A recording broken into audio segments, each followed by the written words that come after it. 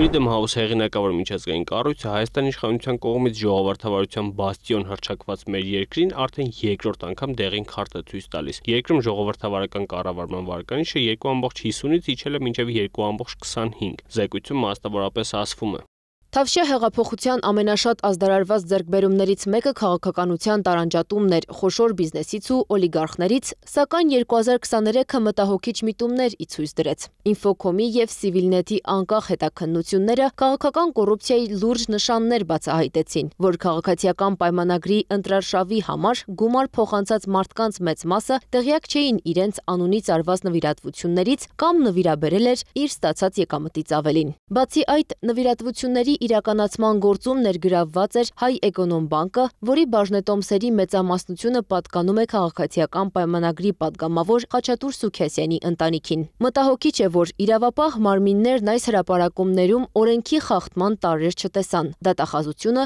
իշխող կուսակցության հետ համերաշխ հերքել է դրանք։ Սա թերևս կարելի է դիտարկել նաև այն տեսանկյունից, եւ Փաշինյանին համ եղում են, համ դաղում են, ասենց երկու դեպքում, ասենք ինչ որ կեցվածք չփոխի, հավատարիմ մնա, այսինքն նրանք փորձում են ինչ-որ արժեքների վրա խաղալ արհեստական Մեկ այլ զեկույցով էլ անդրադարձել են դատական համակարգին ու հնարավոր 7 միավորից դատական համակարգի անկախությունը գնահատել են 2.75 միավոր։ Սրան հատկապես խթանել են առերևույթ քաղաքական հայաստերի պատճառով ու երկրի կառավարչին հայհոյելու համար ձերբակալությունները։ Արտադատության նախկին նախարար քաղաքացիական պայմանագրի անդամ Կարեն Անդրեասյանի 2022 թվականին բարձրագույն դատական խորհրդի ղեկավար ընտրվելուց հետո նրա իբրև նախագահի պաշտոնավարումը աչքի է մի քանի դատավորների նշանակման եւ ազատման վերաբերյալ վիճահարույց որոշումներով։ Հատկապես մտահոգություն կա ԲԴԽ-ի անկախությունը կասկածի տակ դրած դատավորների նախկին վարչակարգի հետ առնչվող դատավորների նկատմամբ կարգապահական կամ այլ կերպ կիրառվող միջոցների վերաբերյալ։ Այսինքն Փաշինյանական արտադրությունը, երբ որ ժամանակին նրանք